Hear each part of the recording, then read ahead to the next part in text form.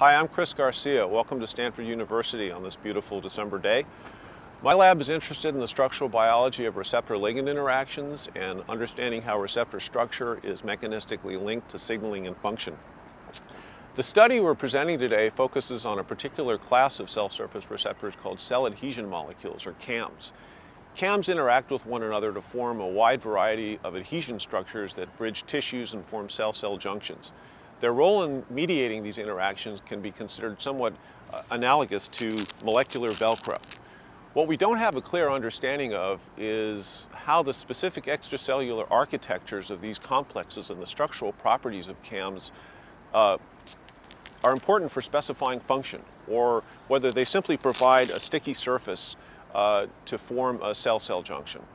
So in this paper, we collaborated with Kang Shen's lab here at Stanford and Tom Walz's lab at Harvard to ask if and how the manner in which a family of CAMs engage one another impacts on function. For our studies, we focused on a group of CAMs utilized in animals in many different adhesion structures. It's the family of proteins homologous to C. elegans, SYG-1 and SYG-2, which are immunoglobulin superfamily CAMs. These proteins not only specify synaptogenesis by mediating adhesion between guidepost vulval epithelial cells and the axon of in C. elegans, but also have adopted many other functions in arthropods and vertebrates, including formation of the slit diaphragm in the kidney by the nephrons. SYG-1 and SYG-2 contain multiple Ig domains, but we crystallized the N-terminal 4 Ig domains of SYG-2 complexed with the N-terminal 2 Ig domains of SYG-1, and we saw a very unusual orthogonal, almost perpendicular docking geometry between SYG-1 and SYG-2. And the SYG-2 Ig domains were in an extended rigid conformation. We also determined the structures of the SYG-1 orthologs Roughest, dumbfounded, and Neph1, and they also exhibited the same orthogonal docking geometry. And intriguingly, we found that the interface between all of these complexes were mediated by the same residues. So one protein interface mediated both homophilic and heterophilic interactions. We were curious about the disposition of the other Ig domains in the full extracellular domains.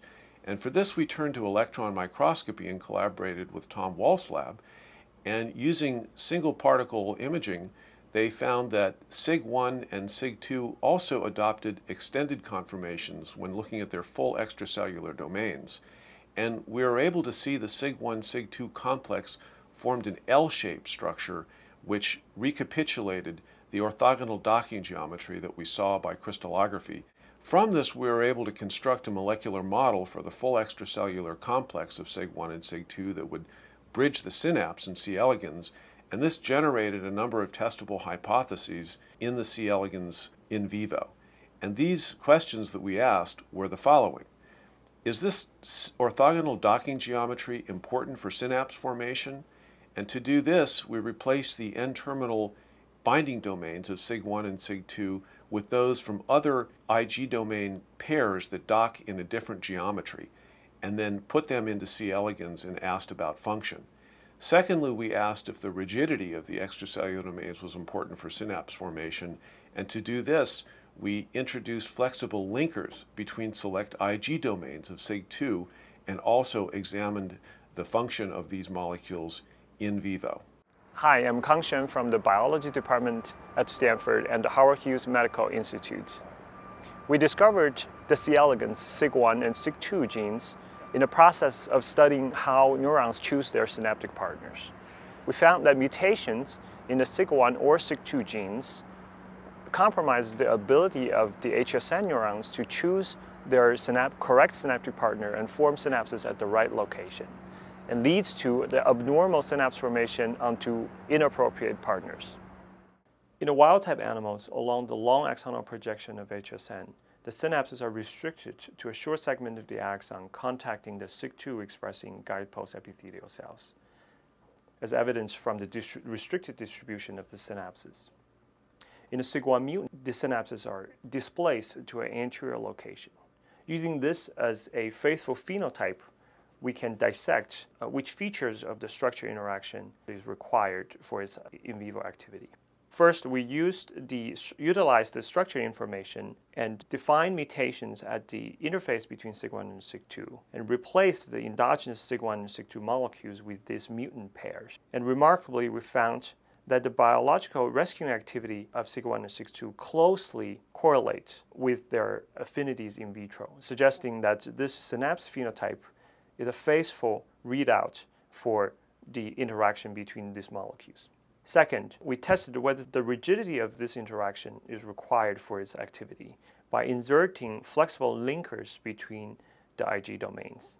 And interestingly, we found that with the inclusion of the linkers, the rescuing activity of SYG-1 and SYG-2 is significantly compromised, suggesting the rigid configuration is important. Third, we chose other Ig pair interaction pairs with orthogonal or parallel configurations to replace the Ig uh, domains. And we found that only the orthogonal interactors can achieve a significant amount of rescuing activity.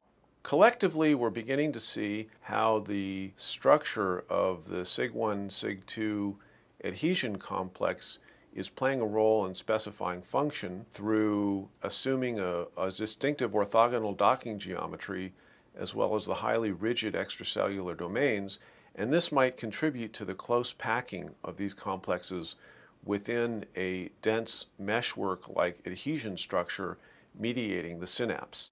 We'd like to acknowledge our colleagues who carried out this work. Engin Ozkan was, was a postdoctoral fellow in the Garcia lab here at Stanford. Po-Hui Chia was a graduate student in Kang Shen's lab. And we'd also like to thank our collaborators at Harvard and UT Southwestern for their contributions to this work. And we acknowledge Howard Hughes Medical Institute for their support.